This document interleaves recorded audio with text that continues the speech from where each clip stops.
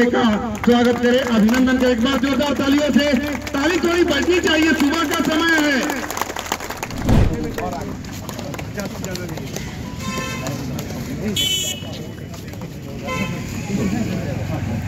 एक बार जोरदार तालियों से अभिनंदन करें, सर का अभिनंदन करें। एक बार जोरदार ताली हमारे मुख्य अतिथि के लिए। ताली थोड़ी बढ़नी चाहिए, आवाज़ होनी चाहिए। तो बहुत बहुत बधाई पुलिस महानिदेशक महोदय, हम सबके प्रेरणा स्रोत मार्गदर्शक। आप सोचते होंगे कि राजेश जी को कब काम करने का मौका मिला सबके साथ।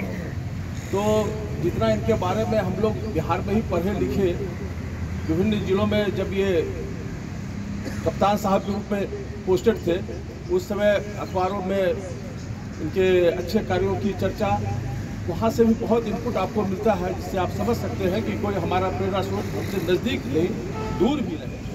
हो सकते हैं।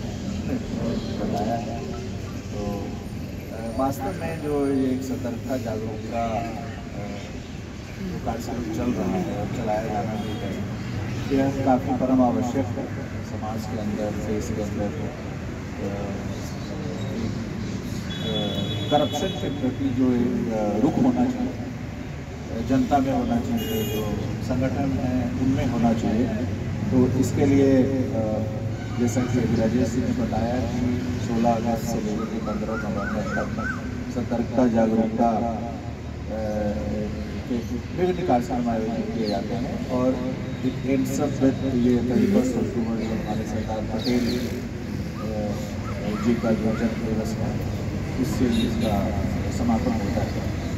सरदार पटेल जी सिर्फ़ होम मिनिस्टर ही नहीं थे, बल्कि हम लोग की जो सर्विसेज़ है ऑल इंडिया सर्विसेज़ अखिल भारतीय सेवा I S I P S I F S जिसको स्टील फ्रेम ऑफ़ ब्यूरोक्रेसी बोलते हैं।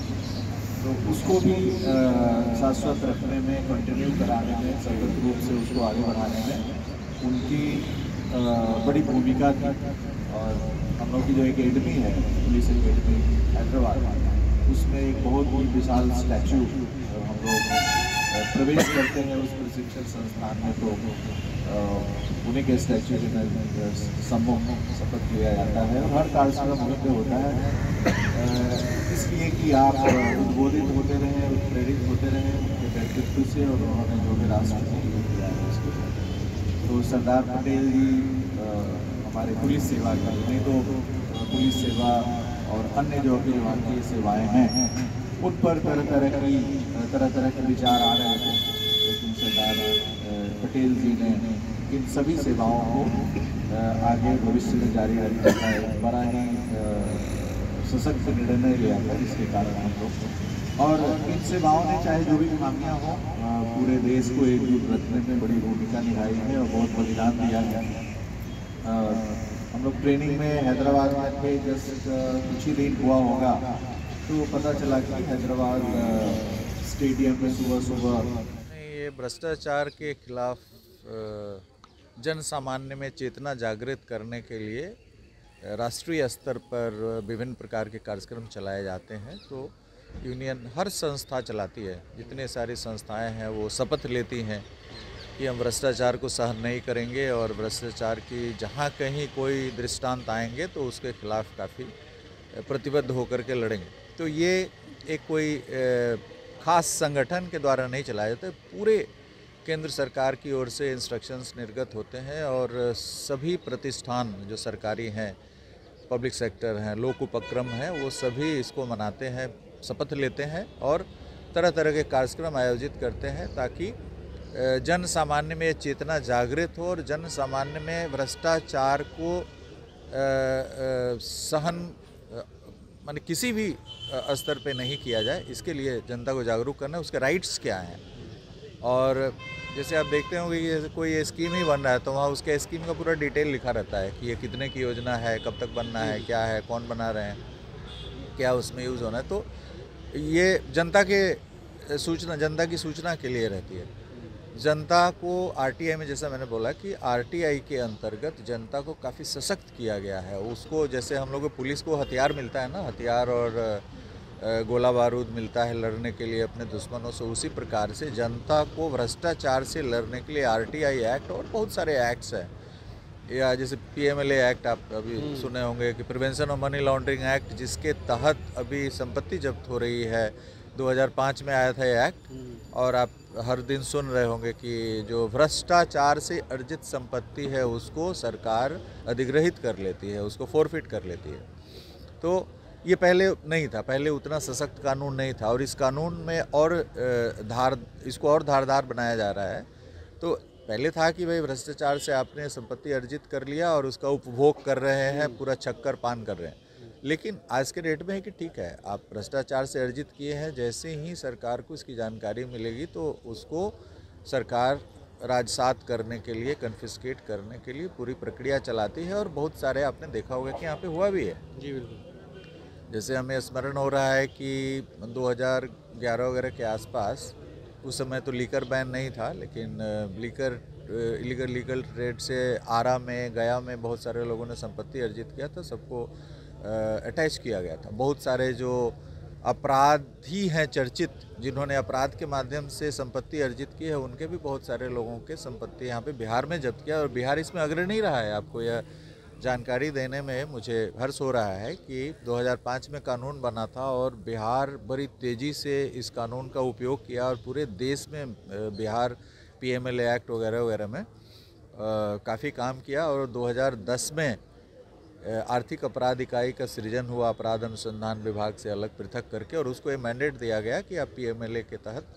कार्रवाई के लिए रिकमेंड करें स्टेट को पावर नहीं है फोरफिट करने का ईडी करती है हम लोग रिकमेंड हम्म। करते हैं केस बताते हैं लेकिन इसमें कार्रवाइयाँ बड़ी तेज़ी से हुई जबकि ये सेंट्रल एक्ट था लेकिन स्टेट ने इनिशिएटिव लेकर के काफ़ी सारे अपराधियों की संपत्ति जब्त हुआ और एक से एक बहुत बड़े बड़े चर्चित जो सामाजिक क्षेत्र में भी जो अपनी पैठ बनाए हुए थे उनकी संपत्तियाँ जब्त हुई तो इसका प्रभाव पड़ता है जब इतनी मेहनत से कोई भी अपराधी संपत्ति अर्जित करता है बरसों के दौरान और उसको आप एक स्ट्रोक में जब्त कर लेते हैं तो उसका तो फिर लगता है कि नहीं ये घाटे का सौदा है।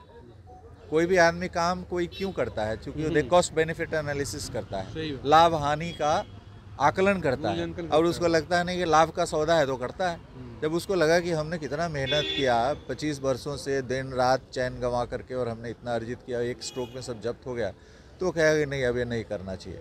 तो इस दिशा में कार्य हो रहा है। भ्रष्टाचार के प्रति जो हमारे लीगल टूल्स हैं जो कानूनी हमारा हथियार है वो भी काफ़ी सशक्त हुआ है। और जो तंत्र है हमारा वो भी काफ़ी सख्त हुआ है। जैसे आप रोज़ देख रहे हैं कि आधा न्यूज़ तो इसी का रहता है। हाँ, ईडी ने हाँ जो भी संस्थाएँ हैं not only ED but state की भी विजिलेंस ब्यूरो है। देखा हर सप्ताह कोई ना कोई कार्रवाई होती है।